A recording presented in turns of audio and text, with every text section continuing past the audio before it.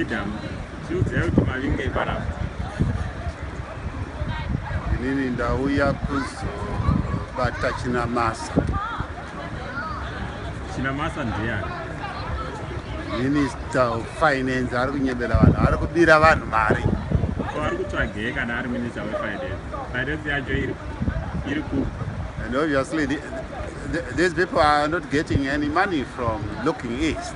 So finally they've realized that they need to engage the west saka haana finance yacho ka no The, the minister without finance. Minister government is- finance the government is bankrupt the government is bankrupt this is why they can't even pay the civil servants kufrance vakazoiwana here mari I don't think they, they, they will get anything. Uh, they are actually knocking on the wrong door. They are actually knocking on the toilet door instead of the bank. so they won't get anything. mafamba zvakanaka here ku- kuembassy yeah, uh, I think it was very, uh, very fruitful uh, mission.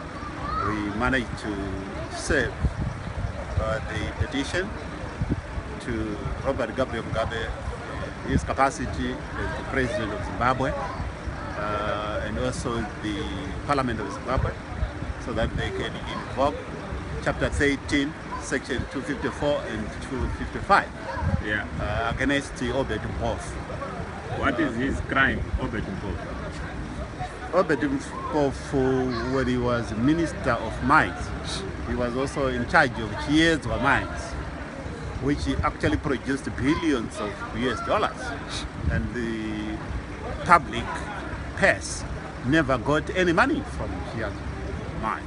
Uh, But what we saw is the, a mushrooming of wealth by Obert Mpofu to such an extent that the Obert Mpofu managed even to, to register a diamond trading company when he was the Minister of Mines. He managed even to, to start a bank. understand So what we are demanding is that uh, Obert Mpofu pay back the money that he stole, and not only that, that he stepped down.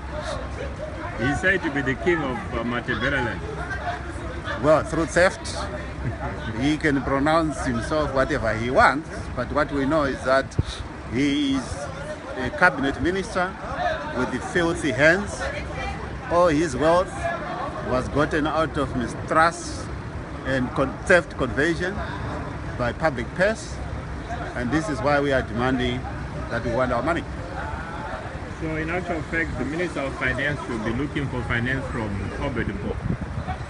Indeed, I, I, I'm surprised that uh, the here is uh, Chinamasa wasting, uh, you know, public money, flying from Zimbabwe to UK, where he knows very well that he will not get any money.